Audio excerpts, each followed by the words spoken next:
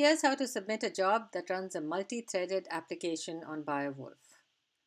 If you remember, a multi-threaded application is one where there is a single process with multiple threads that all share the same memory space. For best efficiency, you want to run it so that each thread is allocated one CPU.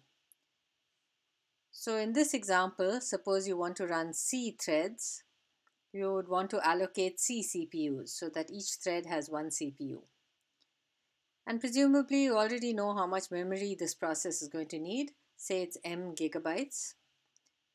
You would then submit it using the sbatch command like this, sbatch dash dash CPUs per task equals C, dash dash mem equals m gigabytes, mg, and the job script name. The batch system will then allocate you C CPUs, and if for some reason you put in an odd number of CPUs, it would round it up to the nearest 2. Because if you remember, allocation is by core, and each physical core has two CPUs. So the batch system is never going to allocate you an odd number of CPUs. And it would allocate you m gigabytes of memory. If you didn't specify any memory, the default alloc memory allocation would be C times 2 gigabytes because the default memory allocation is 2 gigabytes per CPU. So you'd get um, C star 2 gigabytes if you didn't specify any memory.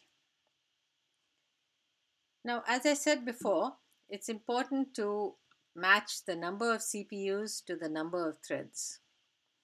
How do you ensure that this is always the case? Within your batch script, you need to tell the application, the program that you're running, how many threads to start up, and you want that matched to the number of CPUs you allocate. You could hardcode that. You could say, for example, start off four threads but the next time you ran the program, if you wanted to start 8 threads, you'd have to edit your batch script and change it and resubmit again. A better way to do it is to use the environment variable $slurm CPUs per task within your batch script. And here's a couple of examples of how that's done. Here's one example running a program called HMMER. It's a pattern matching program and one of the HMMER programs is HMM search. So, so within the batch script, you say bin the pound bang bin bash cd to some directory and module load HMMER. Then HMM search dash dash CPU because that's how the HMM search program determines how many threads you want to run.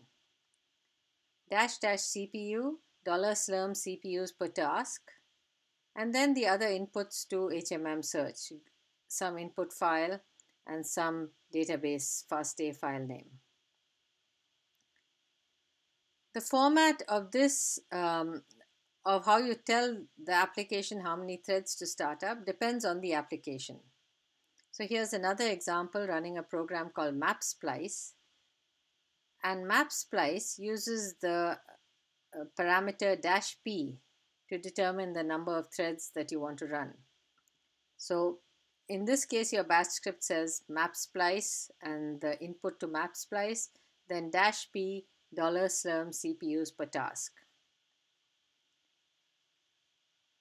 When you submit the job, if you remember the previous slide here, you said you submitted it with the parameter dash dash CPUs per task equals C. When this job runs, the, when, the, when the batch system starts up a shell on the allocated node, this environment variable, variable dollar $slurm CPUs per task is set to the number of CPUs that you have allocated. So whenever either of these batch script runs, it will always spawn off the number of threads that matches the number of CPUs you have allocated, which is ideal. As I said, each application may have its own uh, parameter to specify the number of threads. So some of them may use a dash p flag, some may use a dash t flag, and some may have some completely different uh, syntax. Uh, the application web pages on Biowulf in most cases will describe how to specify the number of threads. Here's an example of an application called FastTree. And if you look, scroll down to the section of on batch job on Biowulf, it has export OMP underscore num threads equals dollar slurm CPUs per task. So for this application, that's how you set the number of threads. Therefore, it's worth reading the web page for the application before you run the application so that you know exactly how to set the number of threads. Let's walk through an example. I'm going to use a program called Bowtie, which is a commonly used program in genomics. So I have a batch script here called bowtie.bat and it starts with the usual pound bang bin bash. It loads the modules for the applications I want to run, CDs to the, this directory and sets an environment variable related to bowtie. For bowtie, the dash p flag specifies the number of threads to run. So here I have bowtie dash p16 and then the, the remaining parameters that bowtie requires. If I submit this job with sbatch dash dash CPUs per task equals 8 dash dash mem equals 5g bowtie.bat. So as you see here, I'm going to run 16 threads on 8 allocated CPUs. Let's see what result that has. Let's use SQ to see the status of the job and ah, I see it's in run state. It's been running for 10 seconds. If I type job load dash u username, it has a job ID, elapsed time. Um, at this point, it shows CPU is allocated zero. That's because the job just started and job load hasn't caught up with this information yet. So a few seconds later, I run job load again and it says it has 8 allocated CPUs and 1 thread active. There's only one thread active because at first Bowtie reads in the input data. So at this point it's still doing I.O. and it's only doing it in one state, one with one thread.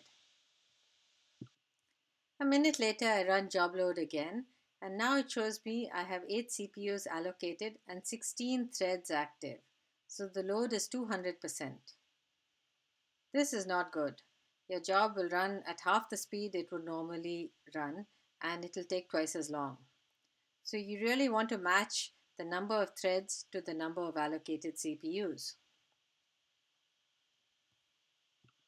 So what I'm going to do now is, is cancel this job and resubmit it correctly. Let's cancel dash teacher will cancel all this my jobs. And let's edit that file and instead of using dash p16 to set 16 threads I'll put in dash p dollar slurm CPUs per task so now if I look at bowtie.bat it says dash p dollar slurm CPUs per task so it'll always set run as many threads as I allocate CPUs Let's submit this again. sbatch dash dash CPUs per task equals 16 dash dash mem equals 5g bowtie.bat.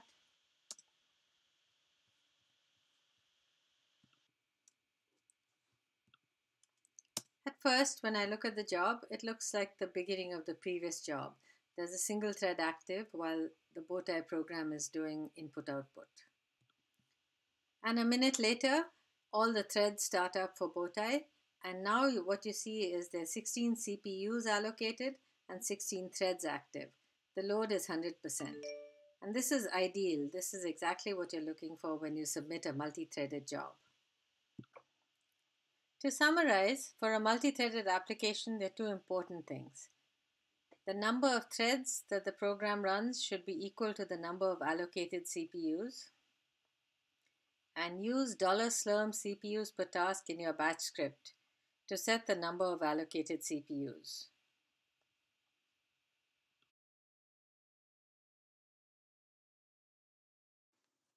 And a last note about what we call auto-threading applications. This is a class of multi-threading applications where when the application runs, it checks how many CPUs exist on a node and it'll start up as many threads as there are CPUs. So even though you may have only allocated 8 CPUs for your job, if the application runs and it's one of this class of applications and it sees that there are 56 CPUs on the node, it'll start up 56 threads. And those 56 threads will run on your 8 CPUs and heavily overload those CPUs.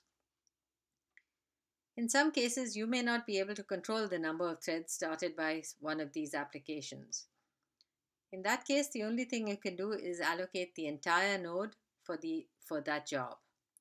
And you would do that with a command such as the following. sbatch dash dash exclusive, which means no other job will run on this node at the same time. Dash dash CPUs per task equals 32, which means 32 CPUs on the node will be allocated to this job, and the job script. And when you submit a job like this, the batch system will ensure that no other job runs on the nodes at the same time and that 32 of the CPUs on the node were allocated for your job. If you know in advance that the nodes to which you're submitting have 56 CPUs, you could set that to dash dash CPUs per task equals 56. So in this case, what you're doing is running a job exclusively on a node.